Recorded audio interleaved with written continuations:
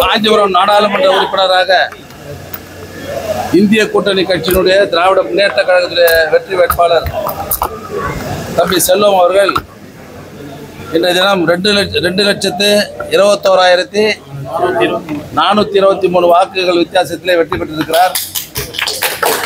மிகப்பெரிய ஒரு மகிழ்ச்சியான நிகழ்ச்சி. நேற்றைய தினம் எங்களுடைய ஒப்பற்ற தலைவர் முத்தமிழர் டாக்டர் கலைஞருடைய நூற்றி ஒன்றாவது பிறந்தநாள் விழா. இன்றைக்கு அவருக்கு பரிசளிக்கிற விழாவாக இன்றைக்கு எங்களுடைய ஒப்பற்ற தலைவர் மாண்புமிகு தமிழ்நாடு முதலமைச்சருடைய கடும் உழைப்பால்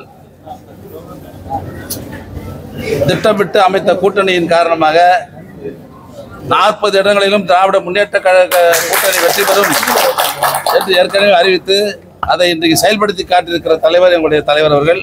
இன்னைக்கு பார்த்தீங்கன்னா எல்லா தொகுதியும் சாதாரணமான ஓட்டு வித்தியாசம் இல்லை. ரெண்டு லட்சம் மூணு லட்சம். இன்னைக்கு ஸ்ரீபெரும்புத்தூரில் டிஆர் பால் அவர்கள் கிட்டத்தட்ட நாலரை லட்சம் ஓட்டு வித்தியாசத்தில் இப்போ இதுவரையும் நாலரை லட்சம் ஓட்டு இன்னும் ஓட்டு என்ன வேண்டியது? கிட்டத்தட்ட ஐந்து லட்சம் வாக்குகள் வித்தியாசத்தை வெற்றி பெறக்கூடிய சூழ்நிலை.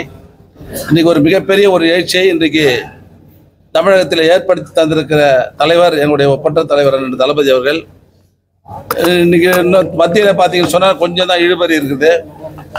அதையும் நம்முடைய தலைவர் அவர்கள் சாதனை சா- சிறந்த செயல்பாட்டின் காரணமாக மத்தியிலும் இந்திய கூட்டணி ஆட்சி பொறுப்பு வருவதற்கு நிச்சயமாக காரணமாக நம்முடைய தலைவர் இருப்பார் என்பதை எந்தவித சந்தேகமும் இல்லை.